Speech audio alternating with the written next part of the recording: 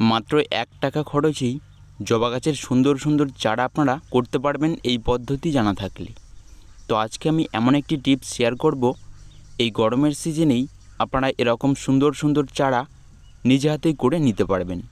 তো বন্ধুরা, বিশেষ করে এই সময়টায় আমরা জবা গাছের বাড়তি ডালগুলো কেটে দিচ্ছি বা ডাল পূর্ণ করতেছি। তো এই ডালগুলোকে পূর্ণ না করে এগুলোকে কিন্তু গাছের থেকেই গুটি কলম করে চারা করা যাবে এই সময়। তো কীভাবে করবেন এই গুটি কলম? দেখুন, আমি এখানে একটি ডাল থেকে এই পদ্ধতিটি তুলে ধরব। ডালটি সম্পূর্ণ ছালটি আমি ছুলে নেব না। এক সাইডের এভাবে একটু ছাল উপরে ছুলে নিয়ে কিছুটা অংশ রেখে দেব এবং এখানে লাগিয়ে নেব এই অ্যালোভেরার জেল। তো এটাকে ব্যবহার করব শেকড় বাইর করার জন্য।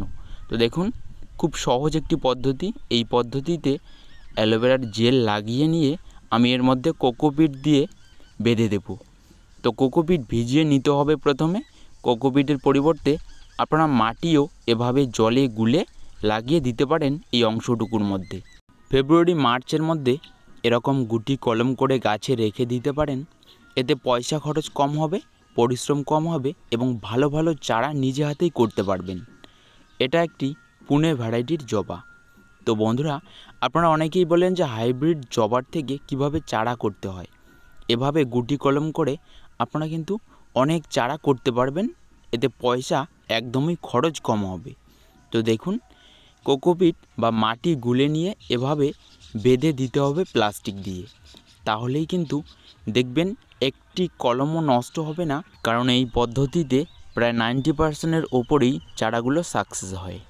আপনারা যদি নতুন চারা করতে চান, তাহলে এই সময় কলম করে রাখুন, দেখবেন এই ফেব্রুয়ারি ও মার্চের মধ্যে করলে এক মাসের মধ্যেই চারা হয়ে যাবে।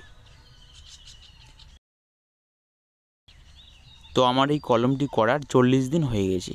আমি এখন প্লাস্টিকটি খুলে দেখে নেব যে কীরকম শেকড় হয়েছে।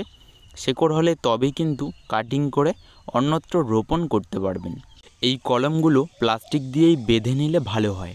কারণ পরবর্তীতে যখন শেকড় বাইর হবে, ওপর থেকেই কিন্তু দেখা যাবে শেকড়গুলো। শেকড় দেখা গেলে এই প্লাস্টিক বেশি দিন রাখবেন না।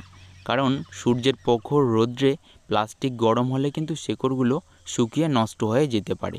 তো এই জন্য শেকড় দেখা মাত্রই আপনারা এই কলমটি কেটে অন্যত্র অবশ্যই রোপণ করুন।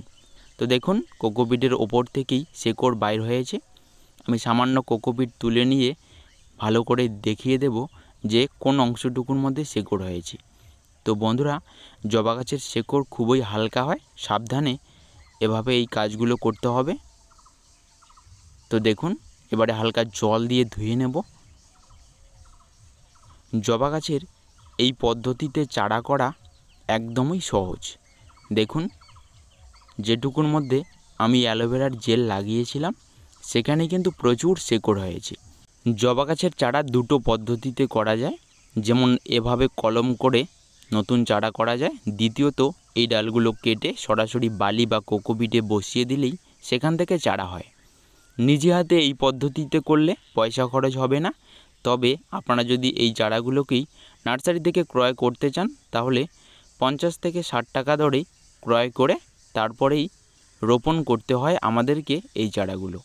তো এই জন্য আপনাদের বাড়িতে বড় বড় গাছ থাকলে এই সময়, অর্থাৎ মার্চের মধ্যেই কয়েকটি কলম করে রেখে দিন, তাহলেই দেখবেন এখান থেকে চারা হবে এরকম।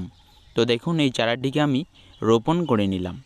আশা করি ভিডিওটি ভালো লেগেছে। এরকম আরও ভিডিও পেতে চ্যানেলটিকে সাবস্ক্রাইব করে রাখুন। ধন্যবাদ।